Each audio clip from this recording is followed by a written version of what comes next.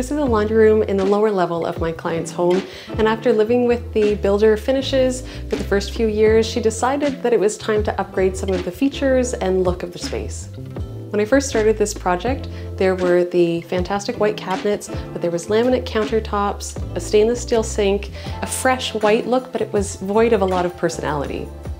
This is a really functional space for the homeowner. Not only is it a fairly good sized laundry room, but it also houses a lot of storage and she even uses it for crafts and wrapping at this old work table. So she was spending a fair bit of time in here and wanted to make it special.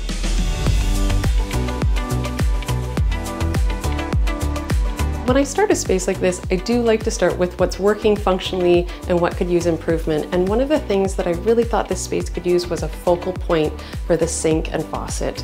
It's on this long wall of cabinetry, and we just really needed something that drew you in and was also really practical.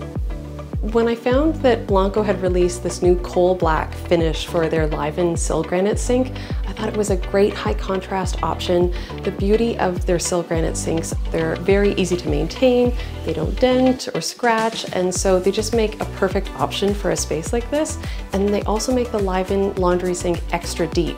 And so that makes it that much more functional for soaking clothing or filling up buckets or vases. It's just a really great size for a laundry sink. Silgranit sinks come in nine different colors and we chose the coal black because it really complemented that high contrast, really fresh and clean look that we were after for this space. I also love that Blanco sinks have these really beautiful accessories like this tray that keeps things from sitting at the bottom of the sink and it just cleans up counter space as well. I chose the Catris Flexo faucet because I love that that black gooseneck detail tied in really nicely with the coal black sink and I love the bit of a sparkle from the chrome finish at the base. This faucet is so cool.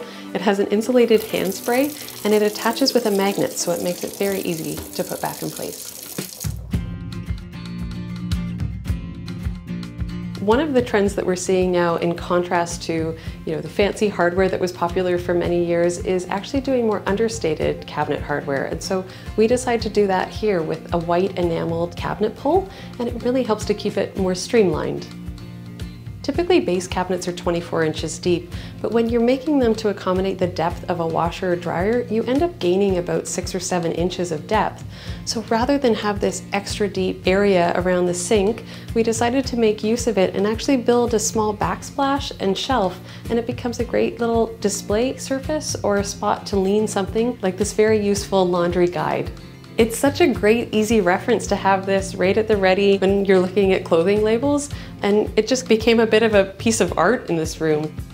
Because the room was quite neutral to start, we thought that the countertops would be a great place to introduce a new finish. So in looking for the right quartz, we found this faux concrete look and it really adds a little bit of movement and a nice tone to the space that feels interesting and different from a typical laundry room counter.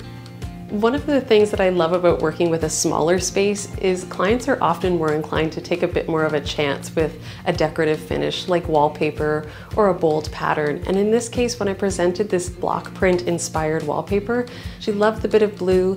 The white was still very fresh and uplifting for a laundry room, and it just instantly added a bit of energy to this space.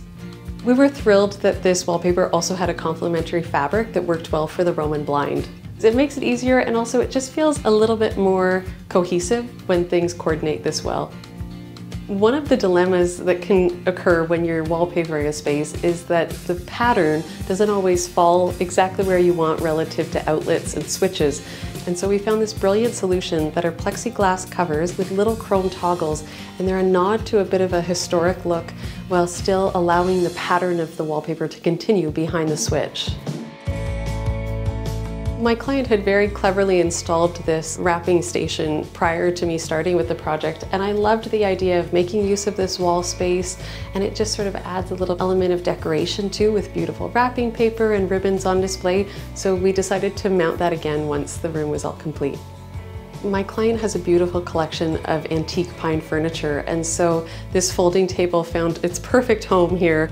It's very practical and adding an antique to even a modern high contrast space really helps to ground and make the room feel more interesting. My client was looking for a place to hang longer pieces to dry, like pants or dresses, and so we were able to make use of a valet rod in one of her taller cabinets that discreetly tucks away when she's not using it, but offers a little bit of hanging space for longer pieces.